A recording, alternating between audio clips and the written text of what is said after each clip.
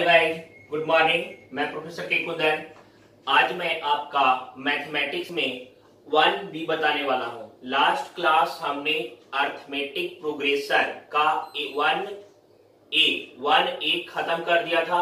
आज की क्लास में मैं आपको वन बी के बारे में बताऊँगा। यार लास्ट क्लास में हमने समय इंथ टर्म निकालना बताया था। लास्ट क्लास में हमने आपको इंथ टर्म का जितना ही प्रॉब्लम था, मैंने वह सॉल्व करवा दिया था। आज के क्लास में मैं समेशन ऑफ़ इन टर्म के बारे में बात करूँगा। आज के क्लास में मैं आपको समेशन ऑफ़ इन टर्म के बारे में बात करूँगा। यार, एक बात बता रहे बच्चे, पता लास्ट क्लास में जो हमने सीखा था तो ऐसे हमें बोला जाता था कि अड़तालीसवा नंबर क्या होगा? फोर्टी सेवेंथ टर्म क्या होगा? फोर्टी फाइव टर्म क्या होगा? टेंथ टर्म का वैल्यू निकाल दीजिए। यह बोल रहा था। लेकिन आज के क्लास में जो बताऊँगा, उसमें वह टर्म नहीं पूछेगा, बल्कि वहाँ तक के समेशन टर्म का क्या वैल्यू होगा? टर्म के समेशन का क्या वैल्यू होगा? यह हमें एस एन टर्म निकालना सिखाता है। चलिए ध्यान दीजिएगा, बताता हूँ। हाँ गाइस ध्यान दीजिएगा। बात करें, आज के क्लास में आपको एन टर्म का समेशन फाइंड आउट करना रहेगा। एक एपी दिया हुआ रहेगा। पहले की क्लास में हमने जो बताया था तो वहाँ पर क्या था? आपका सेवनटीन टर्म एटीन टर्म यह टर्म पूछता था कि वह एटीन टर्म पे कौन सा नंबर आएगा, कौन सा टर्म आएगा। लेकिन इस क्लास में मैं आपको उसका समेशन बताने वाला हूँ।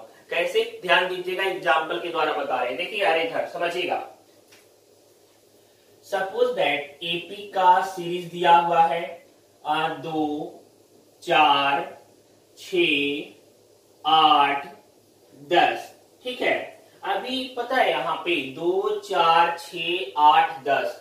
पहले हमें इंथ टर्म फाइंड आउट करना था। इसमें ऐसे बोलता कि सत्रहवा term fifteen term sixteen term निकाल करके दिखाइए। वह हमें बस नंबर ऑफ़ टर्म निकालना बता रहा था। कि सोलहवा ऐसे लगातार बढ़ने या फिर अगर घटने वाला रहता तो घटते तो सिक्सटीन टर्म पे कौन सा नंबर आता? लेकिन यहाँ पे आपका समेशन में यह सिखाएगा कि अगर हम सम करते जाएँगे तो वह समेशन तक, वह टर्म में कौन सा नंबर आएगा? जैसे एग्ज़ाम्पल देखिएगा। मान के चलते अगर बोलता समेशन बताइए दो टर्म का समीशन, कितना टर्म का बोलता बताने के लिए?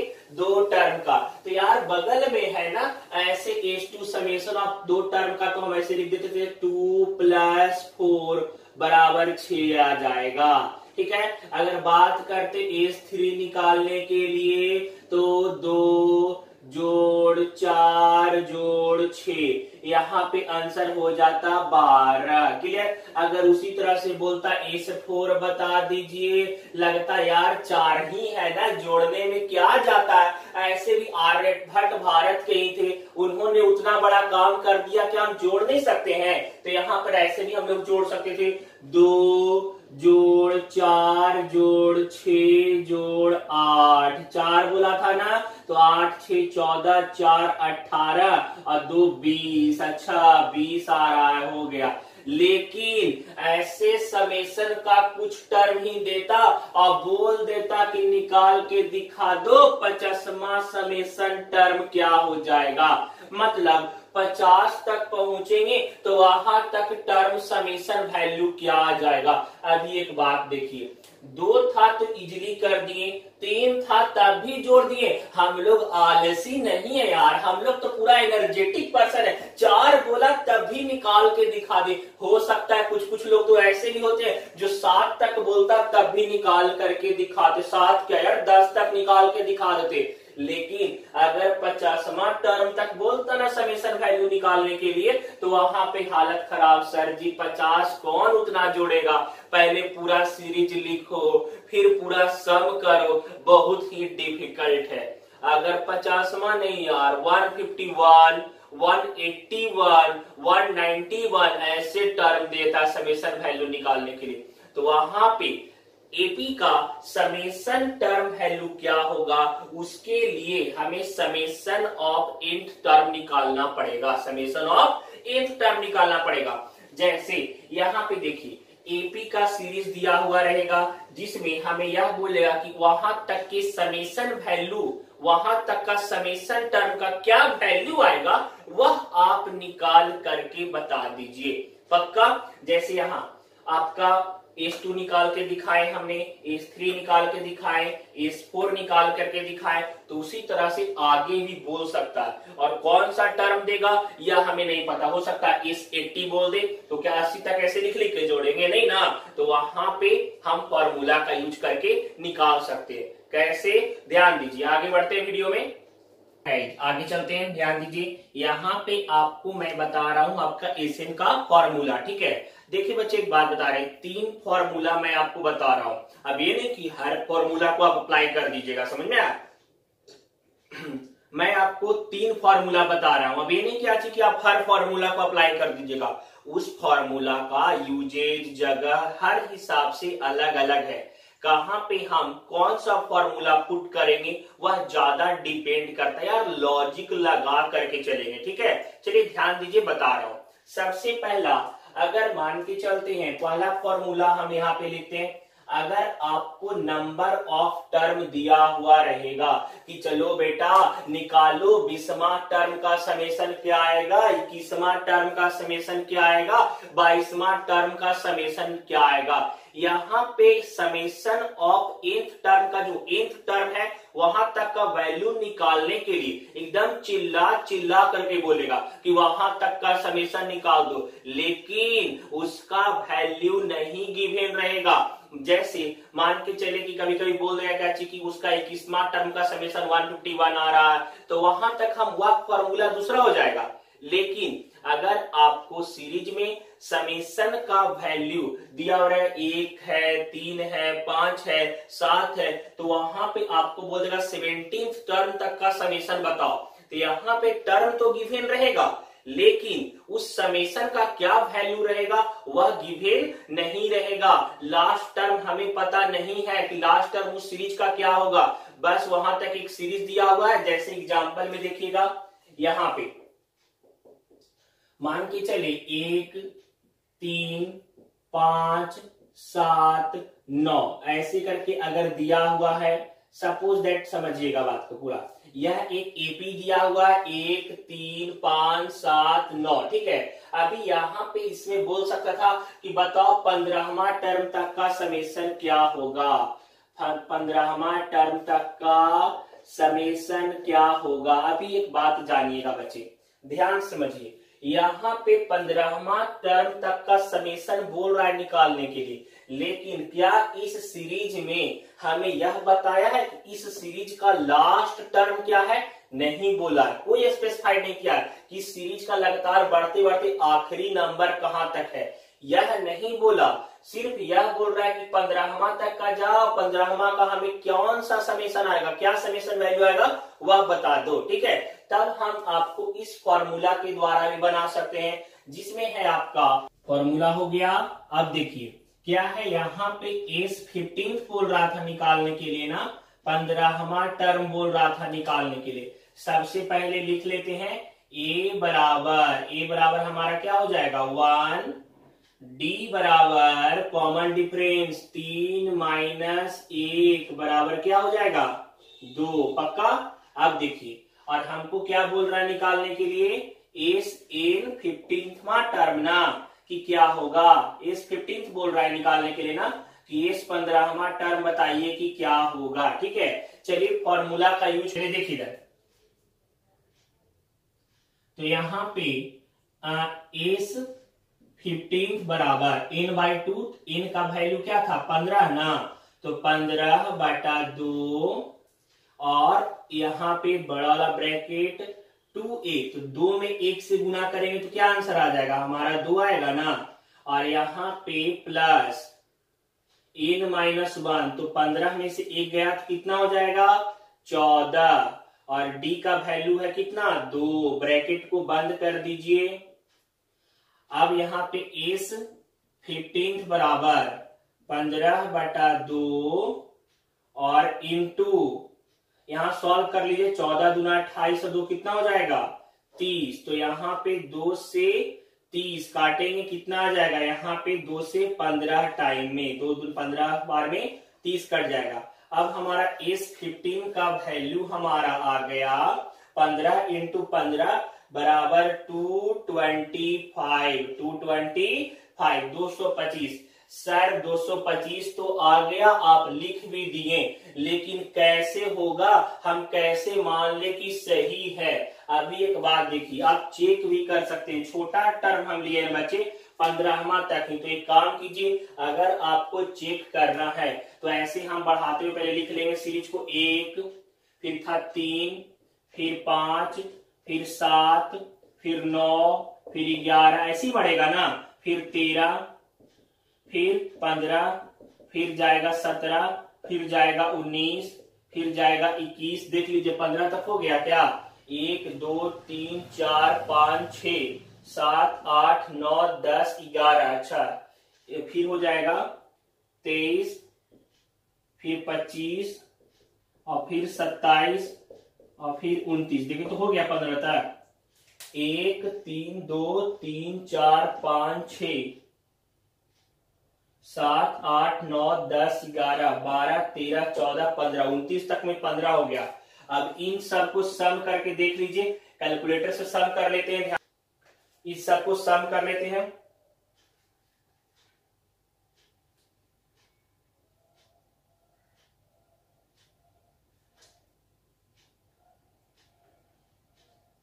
सबसे पहले था एक, तीन प्लस पाँच प्लस सात प्लस नौ, प्लस ग्यारह, प्लस तेरह, प्लस पंद्रह, प्लस सत्रह, प्लस उन्नीस, प्लस इक्कीस, प्लस तेईस, प्लस पच्चीस, प्लस सत्तर हमारा आंसर इस सबको जोड़ के देख रहे हैं तो हमारा 225 आ जा रहा है।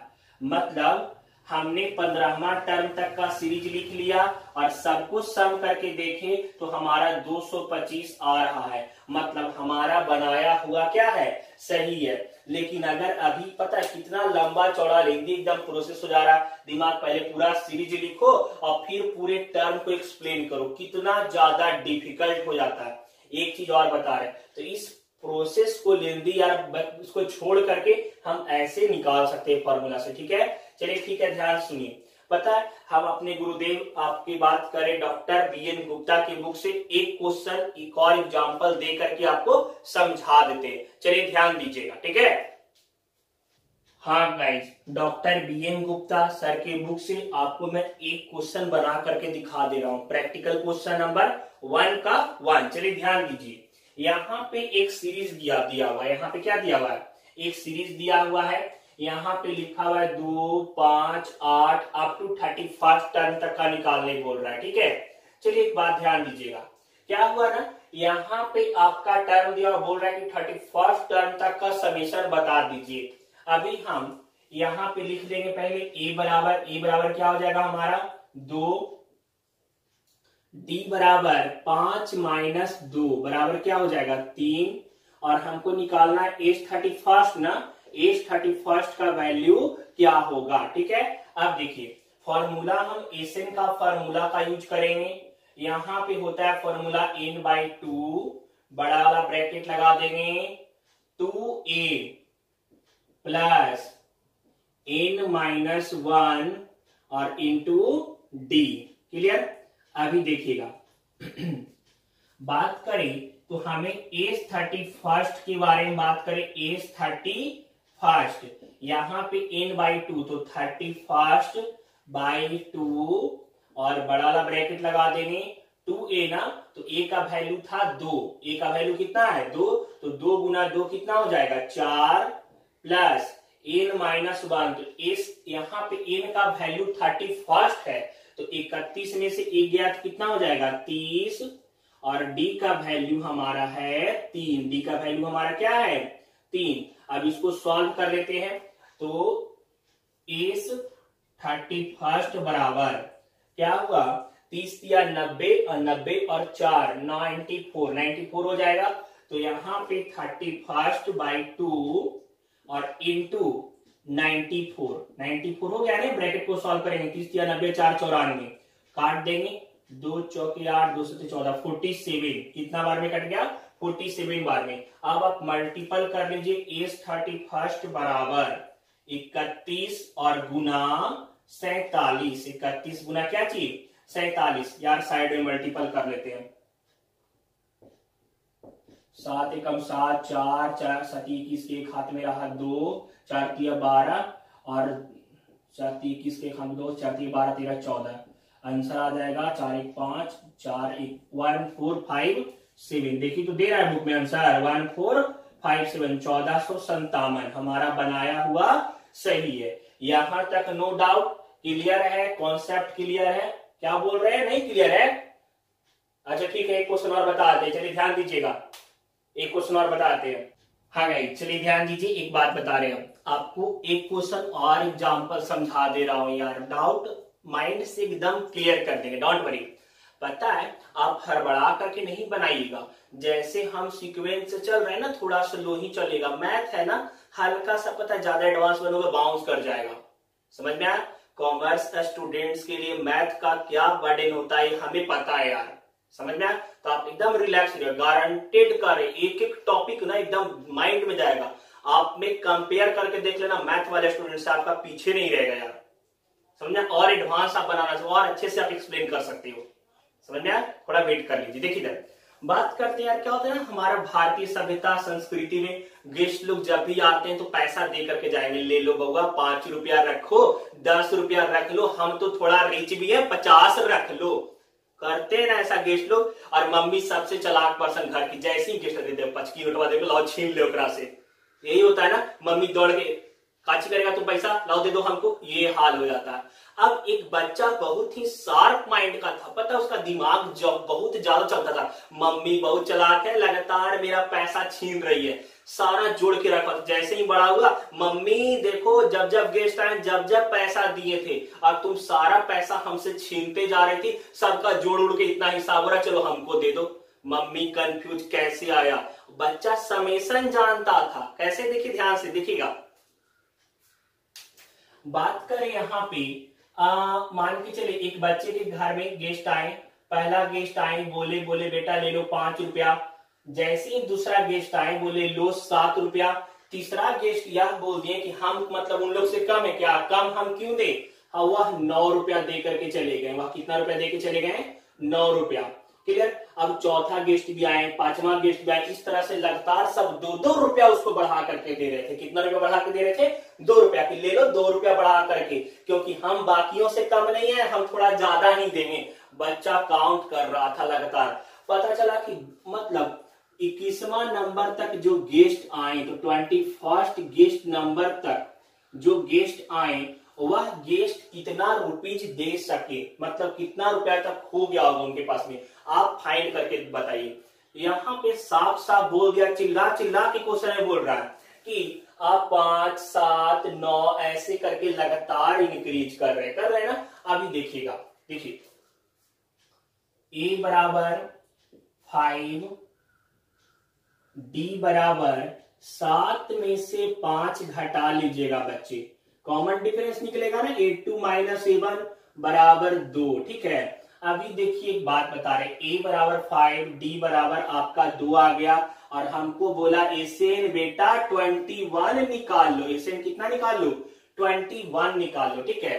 अभी देखिएगा तो एस एन बराबर फॉर्मूला आपका होता है ए प्लस, सॉरी, यार एस एन बराबर फॉर्मूला होता है आपका N by two into two A plus N minus one into D यह फॉर्मूला हो गया। हो गया ना? अभी देखिए।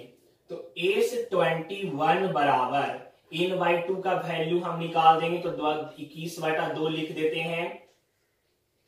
टू ए तो दो गुना पाँच कितना हो जाएगा? दस ए का वैल्यू पाँच था ना, और दो से गुना करना है तो दस और प्लस इन माइनस वन तो इन का वैल्यू ट्वेंटी वन तो ट्वेंटी वन में से बन गया कितना?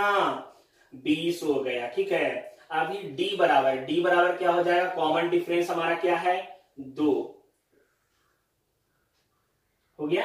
अभी देखिएगा।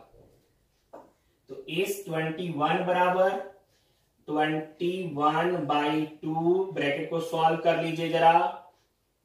देखिएगा। बीस गुना चालीस और दस कितना हो गया? पचास। हो जाएगा ना?